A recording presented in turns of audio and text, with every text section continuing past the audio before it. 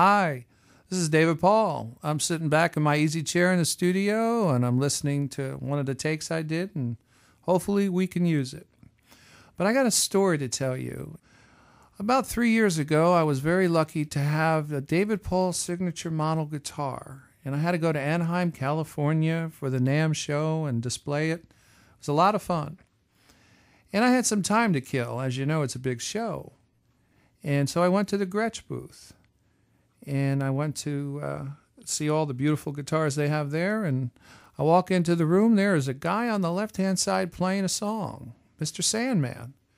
I was just so taken back. His name was Jerry Maher out there in the West. And I said, Boy, I said, you play a pretty good guitar. He says, I know.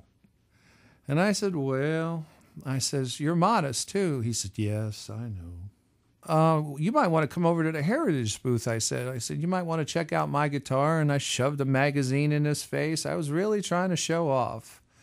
He was so good and um, sounded so much like Chet, so much. It was just spooky. And so he came over, and we've been best of friends uh, ever since. He usually calls me periodically, or I call him, and he makes fun of, or we make fun of me, I should say.